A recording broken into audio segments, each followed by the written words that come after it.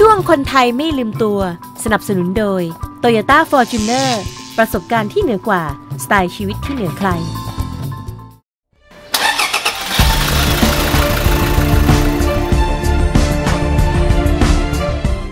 วันนี้เราพาท่านผู้ชมมาลำลึกถึงพระมหากรุณาธิคุณ ขององค์สมเด็จพระเจ้าตากสินมหาราช ปี 2310กรุงศรีอยุธยาแตกเป็นครั้งที่สองกองกำลังของพระเจ้าตาก ที่แหกเมืองล้อมมาออกมาได้ ต่างยกกำลังมุ่งหน้าไปยังฝั่งตะวันออก โดยเดินทางจากอายุทยาเข้าฉะเชิงเซาเข้านครนายก และปราจีนบุรี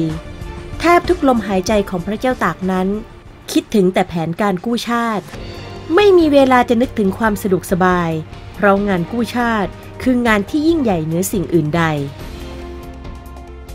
เส้นทางเดินทัพของพระเจ้าตากนั้น คือเข้าบ้านกบแจะแล้วเดินข้ามลำน้ำเมืองปราจีนบุรี เพื่อพักทัพที่ดงศรีมหาโพธิ์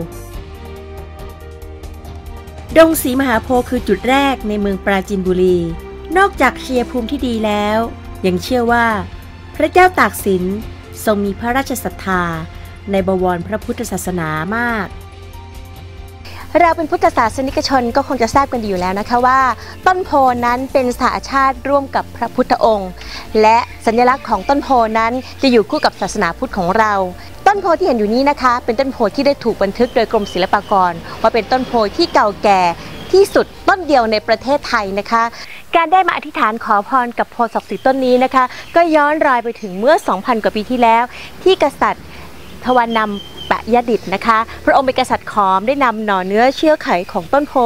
มาจากประเทศอินเดีย และนำมาปลูกไว้ณบริเวณนี้นะคะ เราได้ตามรอยสมเด็จพระเจ้าตากสินมหาราชมาถึงณอีกจุดหนึ่ง ซึ่งครั้งหนึ่งพระองค์ก็เคยนำกองทัพกู้ชาติของพระองค์ มาอธิษฐานสัตว์และสาบานตนต่อหน้าต้นโพต้นนี้นะคะ ขอให้กองทัพของพระองค์นั้นสามารถเดินผ่าน และ ผ่านข้าอุปสรรคต่างๆ และประสบชัยชนะ ท่านก็เดินผ่านทัพไปยังที่ชายทุ่งหมู่บ้านคุลำพันธ์และก็ได้ไปปะทะกับกองทัพพม่าที่นั่นแหละค่ะแล้วท่านผู้ชมล่ะคะ มาถึงจังหวัดปราจีนบุรีทำไมมาสการะโพต้นนี้เพื่อขอพรก็เหมือนมาไม่ถึงนะคะ และที่สำคัญปัจจุบันนี้สีมหาโพนั้นก็ยังเป็นสัญลักษณ์ตราประจำจังหวัดปราจีนบุรีด้วยค่ะ